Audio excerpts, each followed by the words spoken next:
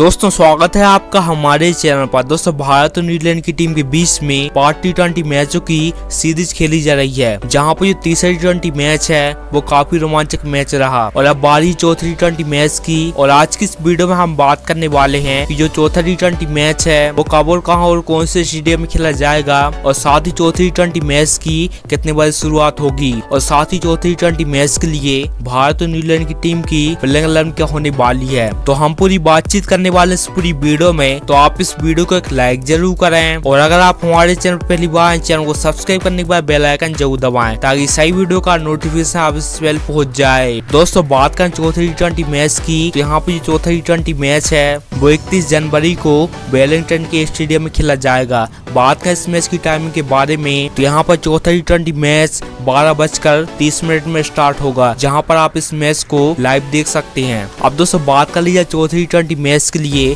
भारत और न्यूजीलैंड की टीम की इलेवन क्या होने वाली है। बात कर न्यूजीलैंड की टीम की तो यहाँ पर न्यूजीलैंड की टीम की तरफ़ से टॉप ऑर्डर में खेलने वाले हैं मार्टिन गप्टेल और साथ ही दूसरे ओपनर कॉल मुंडो। भाई नंबर तीन पर केन विलियमसन खेलेंगे। तो इस प्रकार का टॉप ऑर्डर होने वाले न्यूजीलैंड की टीम का। बात करके मिडल ऑर्डर की नंबर चार पर रॉस टेलर नंबर पाँच पर टीम सेफर्ट नंबर छह पर कॉलेंडी गैरट होम खेलेंगे।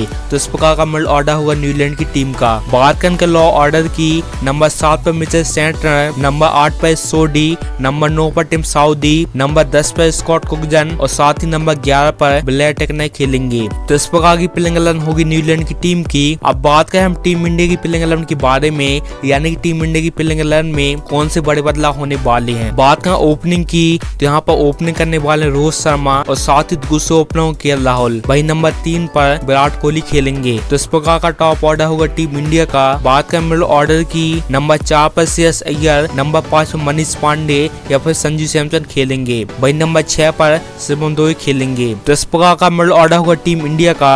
बात कर लो ऑर्डर की, नंबर सात पर रविंद्र जडेजा, नंबर आठ पर शार्दुल ठाकुर, नंबर नौ पर मोहम्मद समी और साथ ही नंबर दस पर युजवेंद्र चहल खेलेंगे और साथ ही नंबर ग्यारह पर जसप्रीत बुमराह खेलेंगे। तो इस प्रकार की प्लेइंग होने वाली टीम इंडिया की, जो की चौथी ट्वेंटी मैच में खेलेगी। अब आपको लगता है चौथी ट्वेंटी मैच को कौन सी टीम जीतेगी? क्या टीम इंडिया जीतेगी या फिर न्यूजीलैंड की टीम? आप हमें नीचे कमेंट कर ज़रूर बताएँ। इस वीडियो में फ़िलहाल इतना ही। आप पसंद आई वीडियो को लाइक कर दीजिए। और अगर आप हमारे चैनल पहली बार चैनल को सब्सक्राइब करने के बाद बेल आइकन ज़रूर दबाएँ। तब तक लीजिए जय हिंद, वंदे मातरम।